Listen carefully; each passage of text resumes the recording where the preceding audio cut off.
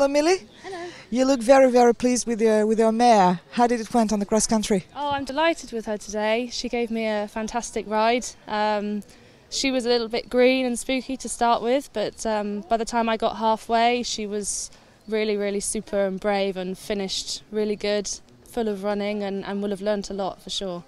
Did she pay attention to the spectators? Uh, yes, yes. To start with, she was a bit wobbly, like looking at the crowds instead of the fences, and I had to give her a little reminder. And um, so, yeah, first three fences she was like that, and then after that, she was very focused. So it was a good day today. It was a very good day. Yes, I'm very happy. Thank you very much, Millie. Thank you.